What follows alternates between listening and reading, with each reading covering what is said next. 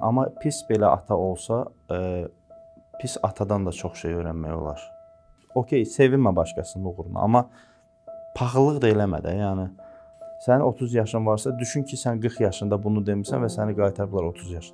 Nə edərdinsə, onu elə. Təmkinlə yaşamağı sevirəm və xırda bir şeylərə də sevinə bilərəm.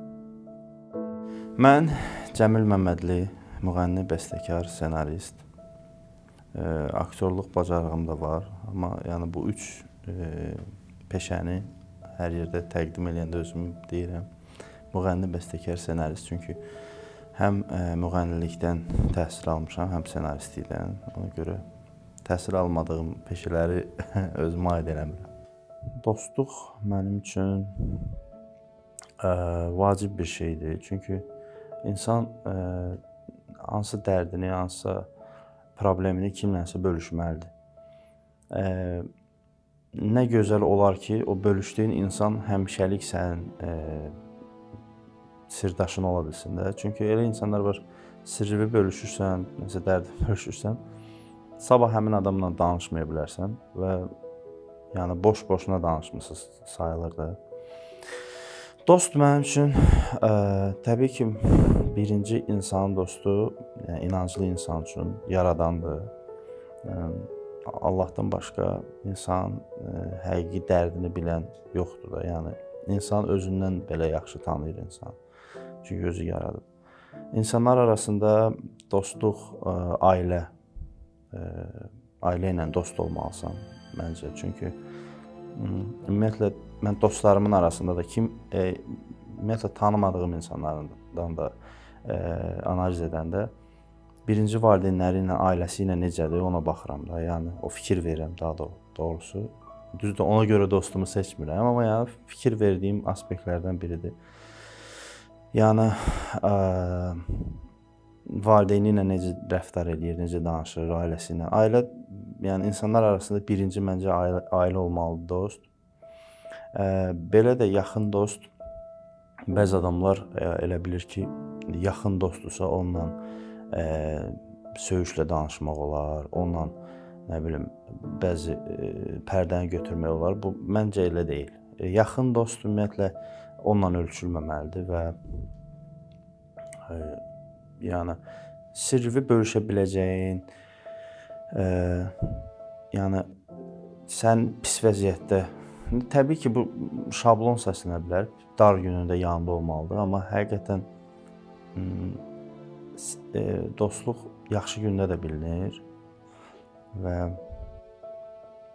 məncə vacib bir nüansdır yaxın dostun olmağı çox yaxşı şeydir. Kumir ə, mən özümə seçməmişəm heç vaxt. Kumir ə, baxıb öyrəndiyimiz həmişə birinci atamız olur. Ə, ata yəni başa düşən insan üçün də, yəni düzdür, ata pis belə olsa, mən də şükür Allah ki, yaxşı atam olub. Allah ölənə rəhmət eləsin çox yaxşı insan olub, tanıyanlar da bilir. Amma pis belə ata olsa, pis atadan da çox şey öyrənmək olar. Həm pis tərəflərin, həm yaxşı tərəflərin və bir belə bir misal var, deyir necə ağıllandın? Deyir ağılsız adama baxıb onun elədiklərini eləmədim düzdür indi atalardan iraq bu misal. Məncə birinci öyrənəcəyimiz insan atamızdır. Sonra böyük qardaşlarım. Məndən 11 və 12 yaş böyük iki qardaşım var. Uşaqlıqdan onlarla, onların verdiyi dərslərlə böyümüşəm də belə deyim. Amma belə musiqi cəhətdən də kumir seçdiyim olmayıb, amma çox hörmət elədiyim artistlər olub. Michael Jackson-da, Justin Timberlake-dir, Stevie Wonder-da köhnələrdən. Boyz II Men qrupu var idi. Yəni mahnı cəhətdən, musiqi cəhətdən oxumağa həmişə onlara bax, Craig David-dir. Onlara baxıb onlardan nəsə öyrənirdim.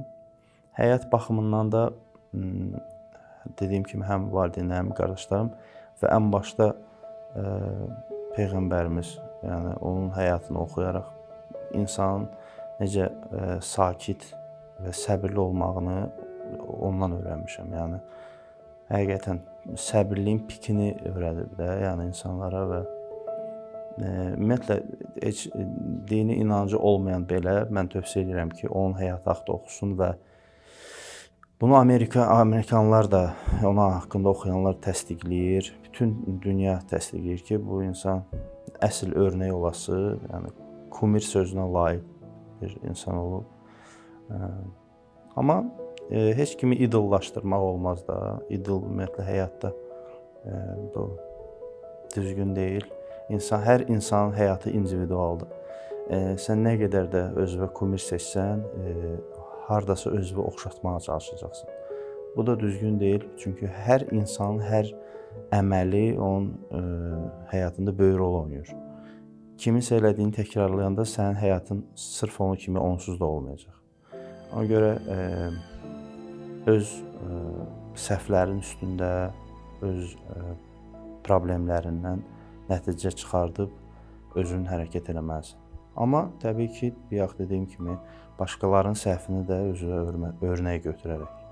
Həyatda məni hmm, yumor yumor motivasiya verir, e, baş dostlarımın uğuru motivasiya verir.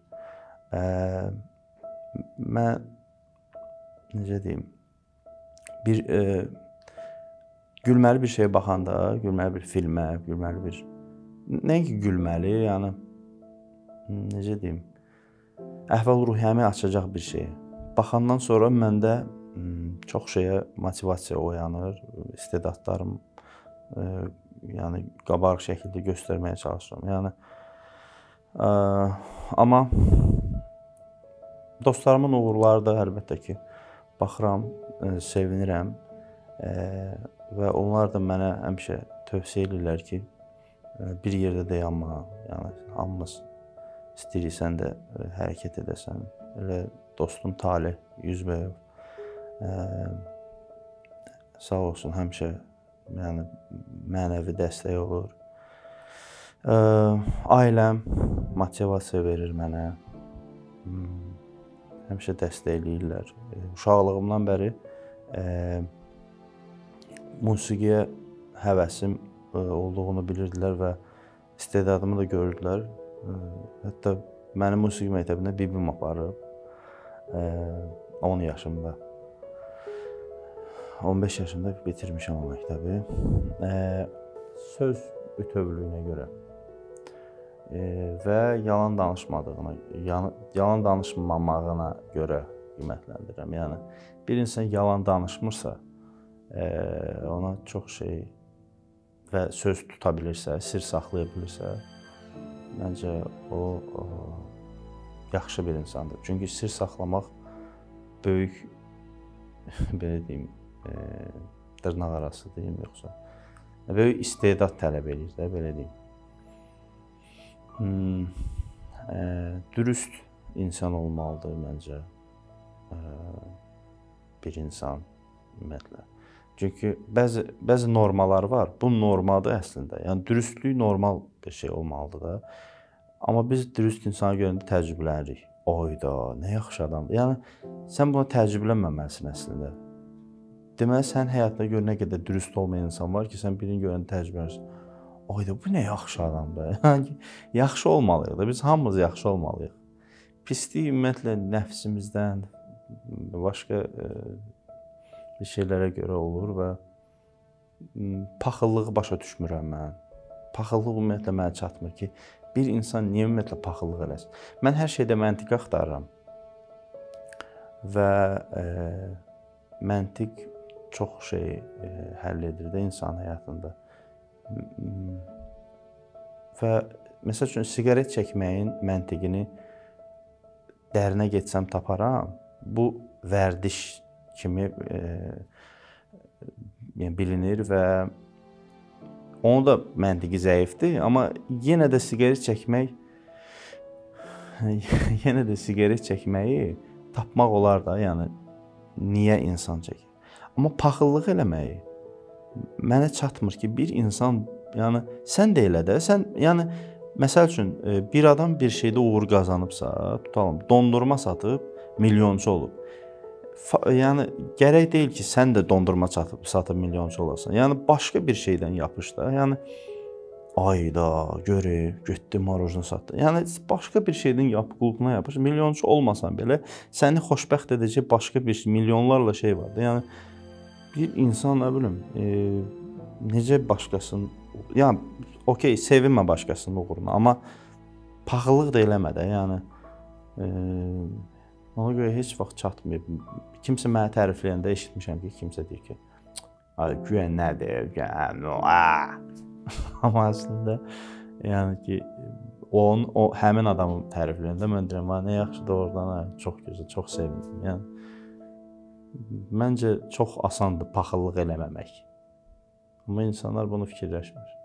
Xarici görünüş ə, özümü götürəndə özüm üçün vacibdir. Mən istəyərdim ki, xarici görünüşüm daha yaxşı görsənim, daha şey olsun.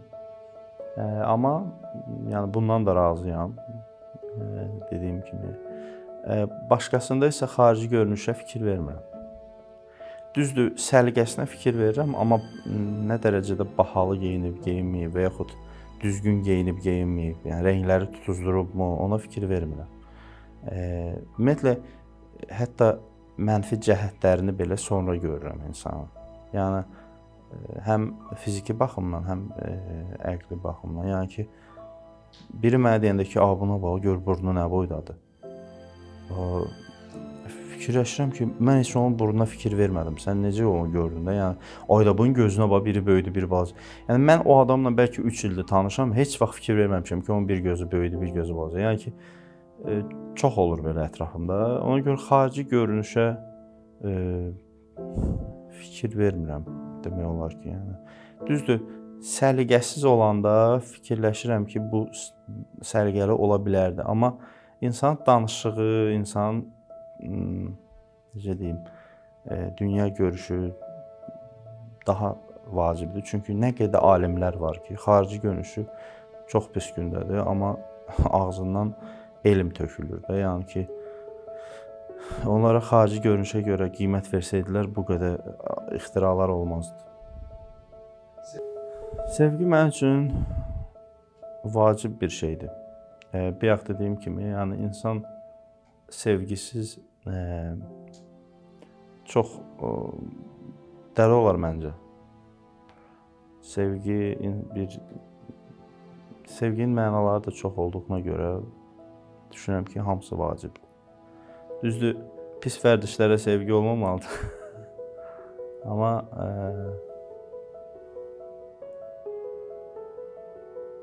nə bilim, sevgi uzun-uzadı danış, yəni həm çox danışıla biləsi bir mövzudur. Həm də qısa cavab vermək olar deyə mən qısaya üstünlük verirəm. Sevgi vacib bir şeydir, bunu deyə bilərəm. Ölüm də vacib bir şeydir. Nə üçün? Çünki ölümü fikirləşəndə e, yer gəlmişkən ölüm də motivasiyadır ya. Ölümü fikirləşəndə insan yaxşı motivə olur ki, birdən mən sabah olmadım. Yəni bu gün hər şeyi çatdırmalıyam. Düzdür, aşırı bir şey də eləmək lazım deyil, amma e, ölümdən qorxmuram. Ölüm e, amma insan ölməyi fikirləşəndə həmişə yaxınlarını fikirləşir də, yəni anam özünü necə hiss eləyər? Yaxınlarım, ailəm. E, amma ki təbii ki, hamı kimi istəyərəm. Hamı kimi deməyim, çoxlar kimi istəyərəm çox yaşayım o qədər yaşayım ki, hər şeyi çatdırımda yox, istədiyimi istədiyimi çatdıra bilim insanlara və ola bilər ki, çox adamın yarımçıq xəyalları qalır, arzuları qalır, amma e, təbii ki, ölüm son deyil. Biz sınaqdayıq və bu dünyada bu dünyadan da çox yapışmaq düzgün deyil. Amma yəni hərəkətdə olmaq lazımdır və həmişə fikirləşmişəm ki,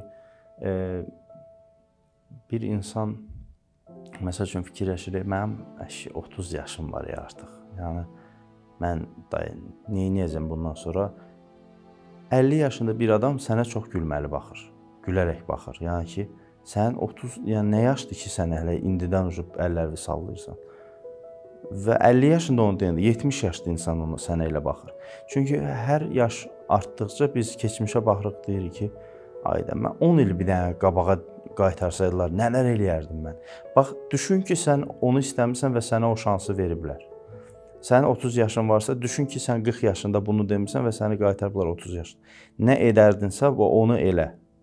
Go.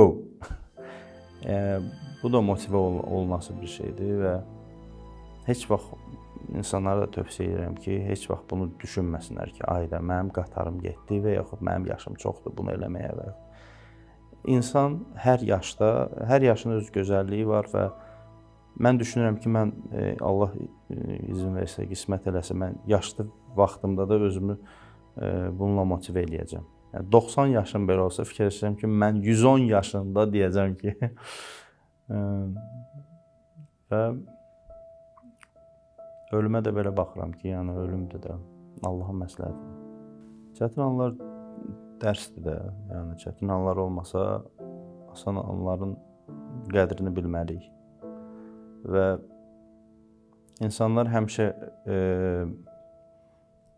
fikirləşir ki, niyə məsəl üçün e, kasıb insanlar e, var və pis insanlar niyə var? Niyə onlar e, yəni yaxşı insanlar əzab çəkir, əziyyət çəkir?